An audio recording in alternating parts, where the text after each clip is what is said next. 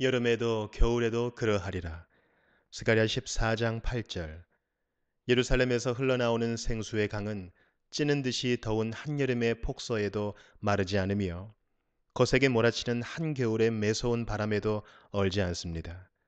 오 성도 여러분, 여러분은 주의 신실하심을 증거하기 위해 예비된 그릇이라는 사실로 기뻐하십시오. 계절은 바뀌고 여러분 자신도 바뀌지만 여러분이 믿는 하나님은 항상 동일하실 뿐 아니라 그의 넓고 깊은 사랑의 강 역시 항상 차고 넘칩니다.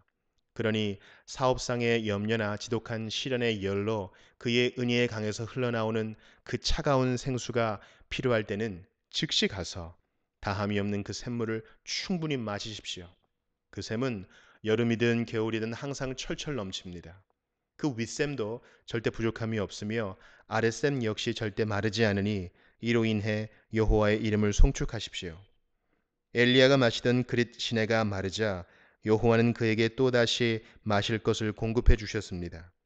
욥은 형제들이 속이는 시내와 같다고 말했지만 그의 하나님은 차고 넘치는 위로의 강임을 발견했습니다. 애굽이 자신만만하게 믿던 나일강의 수위는 수시로 변하지만 우리 주님은 항상 동일하십니다. 고레스 왕은 유브라데의 수로를 바꿈으로써 바벨론 시를 빼앗았지만 우리 하나님의 은혜의 물줄기는 어떤 능력이나 인간이나 지옥의 마귀도 바꿀 수 없습니다. 고대의 강들이 흐르던 수로는 이미 모두 다 황폐해졌지만 하나님의 주권과 무한한 사랑의 산에서 흘러나오는 강줄기는 항상 충만하게 넘칠 것입니다. 오고 오는 세대들은 사라져 없어질지라도 그 은혜의 줄기는 변하지 않습니다. 어느 시에 보면 시냇물에 대해 다음과 같이 읊은 것이 있습니다. 인생은 왔다가 갈지 모르지만 나는 영원히 흐른다. 그런데 하나님의 강은 이 시에 나오는 시냇물보다 더욱더 영원히 흐릅니다. 성도 여러분, 여러분은 이처럼 잔잔한 물가로 인도되었으니 얼마나 행복하십니까?